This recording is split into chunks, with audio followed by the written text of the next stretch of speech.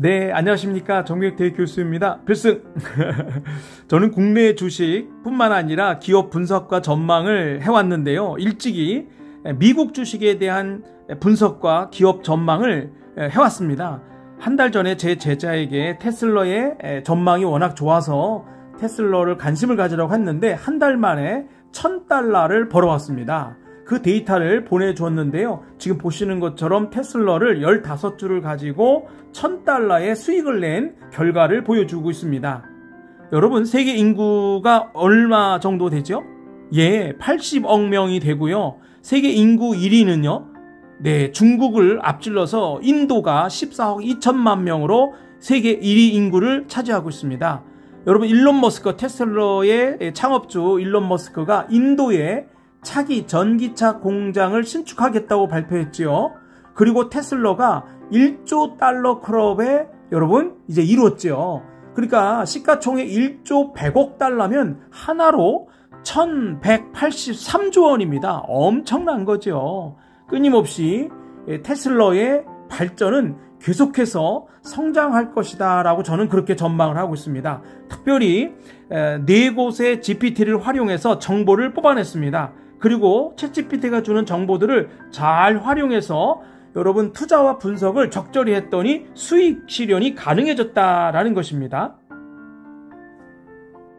여러분 챗GPT를 통해서 기업의 GPT를 접속해 보겠습니다. 전망을 좀 네, 살펴보도록 하겠습니다. 먼저 여러 GPT를 활용할 텐데요. 첫 번째 비율 좀 보고 계신데요. 아, 이곳에 GPT를 네. 활용해 보겠습니다. 큰 여러분 이 테슬라 주가를 한번 물어볼게요.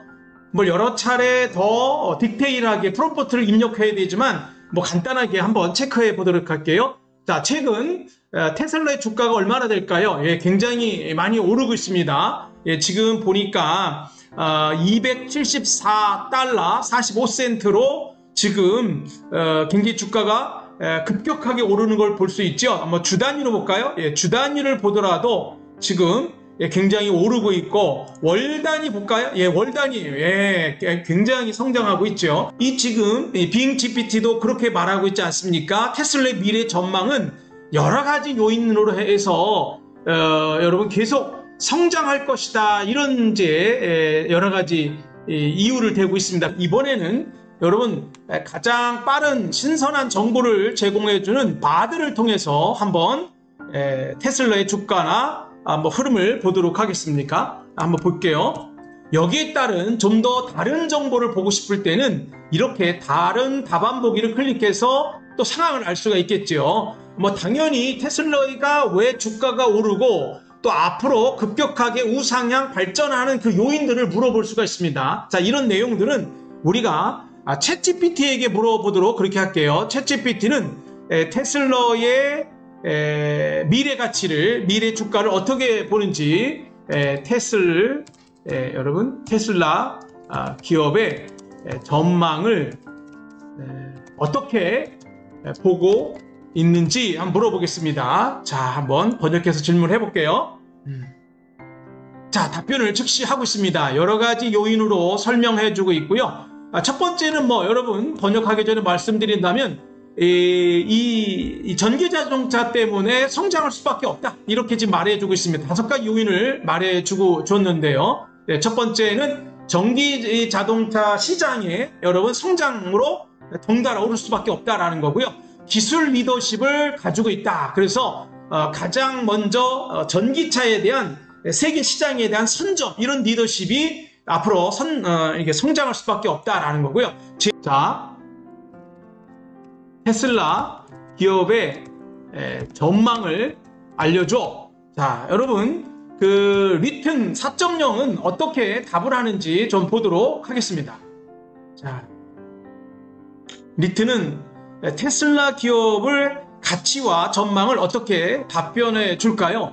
아, 물론 이 답을 보고 좀 더 구체적으로 디테일하게 좀 더 이렇게 집중해서 내가 얻고자 하는 것을 얻을 수가 있습니다. 중요한 것은 챗GPT를 활용해서 각도로 필요한 정보를 얻어낼 수 있다는 거예요. 그래서 그 정보를 가지고 투자나 유용하게 다른 분석 용도로 활용할 수 있다는 것이 챗GPT가 갖고 있는 유익한 장점이라는 것을 꼭 기억해 주시기 바랍니다. 아, 여기 보면 테슬라의 기- 지속적인 혁신과 투자를 통해 미래에도 이게 중요하죠. 미래에도 미래에도 강력한 이 여러분 이 성장 가능성을 내포하고 있다라는 것입니다. 자 여기서 어, 리튼이 또 좋은 점은 뭐예요? 내가 질문할 것을 예측해서 이렇게 물어놨어요. 그래서 테슬라 주가가 얼마나 될까요? 테슬라 신차 출시 일정이 어떻게 되나요?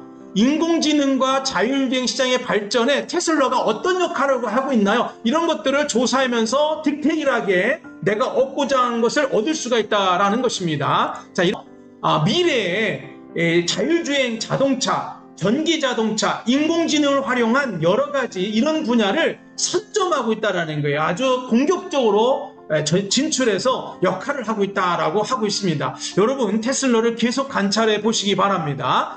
아, 여러 가지 그 기업의 전망과 주가가 폭락하 그럴 것 같지는 않아요. 그렇죠? 잘 보셔서 타이밍을 잘 잡아서 적절히 재테크나 분석이나 여러 가지 여러분 활용할 수 있는 정보들을 챗GPT의 다양한 장르의 기업들의 툴을 가지고 활용할 수 있는 것이 굉장히 중요하다라는 것을 꼭 기억하시기를 바랍니다.